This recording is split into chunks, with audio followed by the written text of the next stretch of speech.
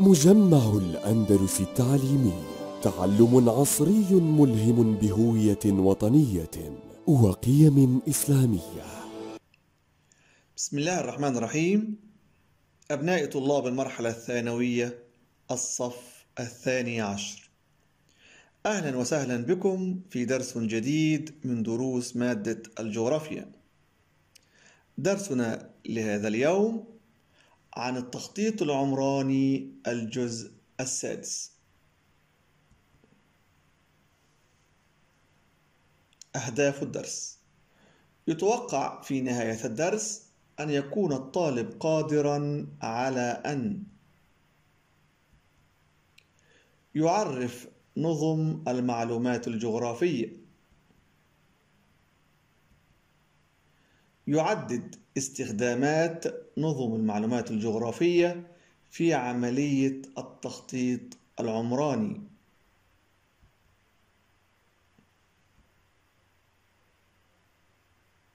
نظم المعلومات الجغرافية ويطلق عليها الجي آي إس.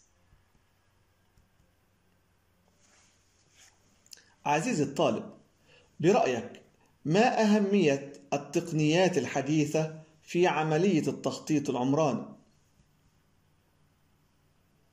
نظم المعلومات الجغرافية ال GIS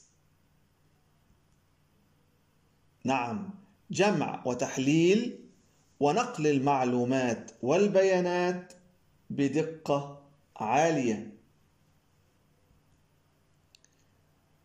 أيضا يفيد في تقييم استخدامات الأرض. إذا أعزائي الطلاب عدد التقنيات والأدوات المستخدمة في التخطيط العمراني. نعم تقنية الاستشعار عن بعد برامج نظم المعلومات الجغرافية ونظم التصميم باستخدام الحاسب الآلي. سوف نتحدث اليوم عن برامج نظم المعلومات الجغرافية وهو ما يسمى بال GIS. أولا هيا بنا نتعرف على نظم المعلومات الجغرافية وما المقصود بتلك النظم.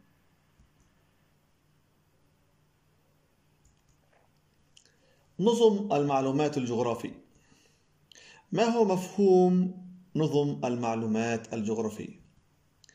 نعم هو نظام قائم على الحاسوب مصمم لجمع البيانات الجغرافية وتخزينها ثم معالجتها وتحليلها وإدارتها وإخراج المعلومات الجغرافية والوصفية لأهداف محددة إذا عزيزي الطالب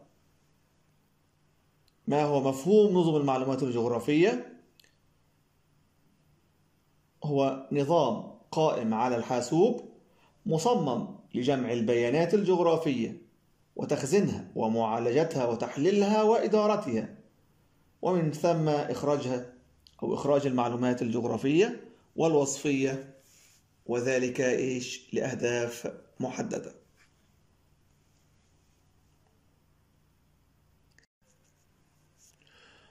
يرمز لنظم المعلومات الجغرافية بالرمز التالي. نعم جي آي إس. ما المقصود بنظم المعلومات الجغرافية؟ كما قلنا سابقا نظام قائم على الحاسوب مصمم لجمع البيانات الجغرافية وتخزينها ومعالجتها وتحليلها وإدارتها وإخراج المعلومات الجغرافية والوصفية لأهداف محددة.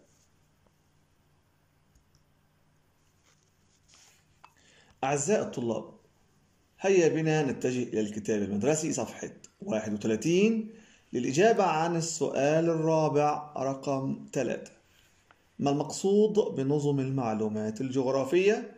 وكما قلنا سابقا نظام قائم على الحاسوب مصمم لجمع البيانات الجغرافية وتخزينها ومعالجتها وتحليلها ومن ثم إخراج المعلومات الجغرافية والوصفية لأهداف محددة.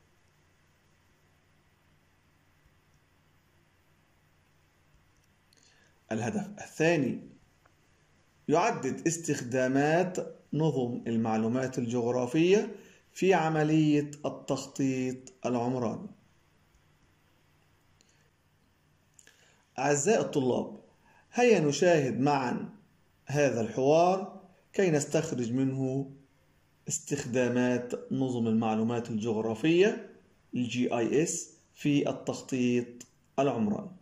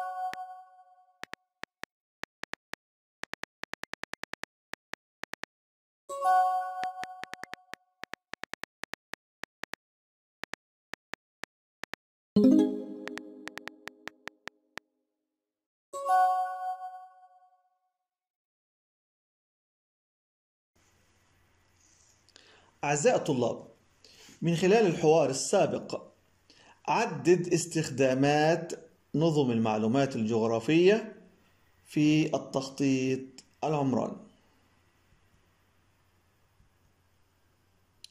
نعم دراسة وتقييم استخدام الأرض وتقديم المقترحات للاستخدام الأمثل. أيضا تستخدم نظم المعلومات الجغرافية في دراسة وتقييم الخدمات الصحية والتجارية والتعليمية في المناطق العمرانية. أيضا تساعد في دراسة وتقييم الطرق والمرور واتجاهات الكثافة وأوقات الذروة. أيضا تساعد في تحديد اتجاهات النمو العمراني وتساعد أيضا في دراسة المناطق العشوائية والعمل للحد من انتشارها. عزيزي الطالب أجب عن الأسئلة التالية. من أمثلة استخدامات نظم المعلومات الجغرافية تقييم نعم الطرق والمرور. عدد استخدامات نظم المعلومات الجغرافية في التخطيط العمراني. نعم دراسة وتقييم استخدام الأرض وتقديم المقترحات للاستخدام الأمثل. دراسة وتقييم الخدمات الصحية والتجارية والتعليمية.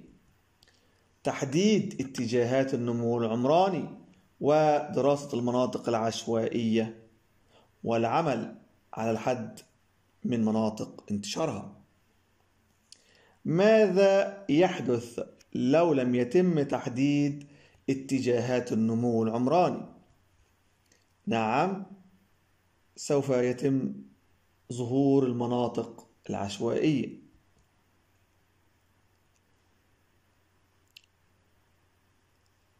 أعزائي الطلاب وصلنا إلى نهاية الدرس. يوجد مجموعة من الأسئلة عن الدرس. يمكنك الدخول عن طريق قارئ الباركود للإجابة عن هذه الأسئلة. وذلك من خلال موقع ال Wordwall. نترككم في رعاية الله وأمنه وإلى لقاء جديد. والسلام عليكم ورحمة الله وبركاته. مجمع الأندلس التعليمي تعلم عصري ملهم بهوية وطنية وقيم إسلامية.